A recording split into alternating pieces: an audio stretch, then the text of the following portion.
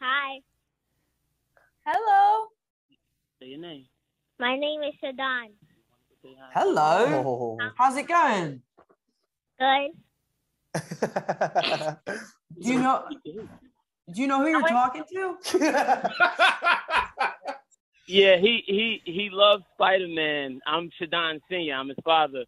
Um, well, what's up, man? Uh, we're here at Spider-Man. Here, we're we're in New York, back in our home. We're making sure everybody's safe in the city, looking after everybody. I'm here doing an interview on Sway for our new movie, Spider-Man: No Way Home.